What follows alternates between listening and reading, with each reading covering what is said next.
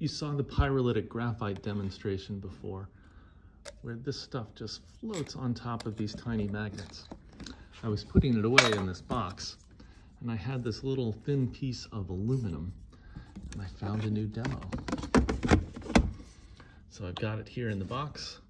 I set my aluminum strip there, and I let it go, and it slides down very slowly. Oh, that one got stuck.